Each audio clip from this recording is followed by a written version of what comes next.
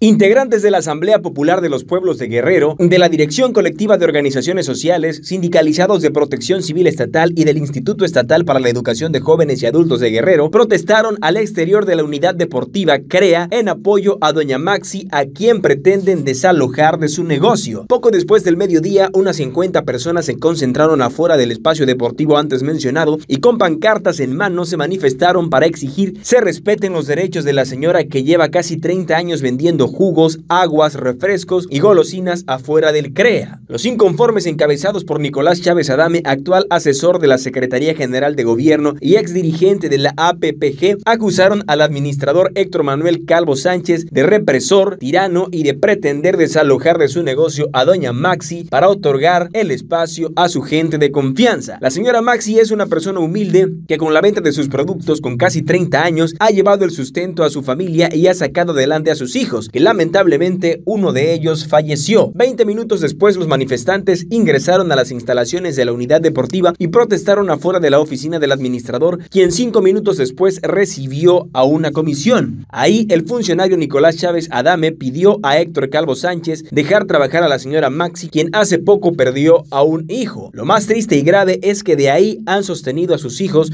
como todos luchamos y hace poco falleció su hijo, ahora imagínate sin empleo o presionada en su empleo, comentó el funcionario. CN6 Noticias, de lunes a viernes, 8 de la noche.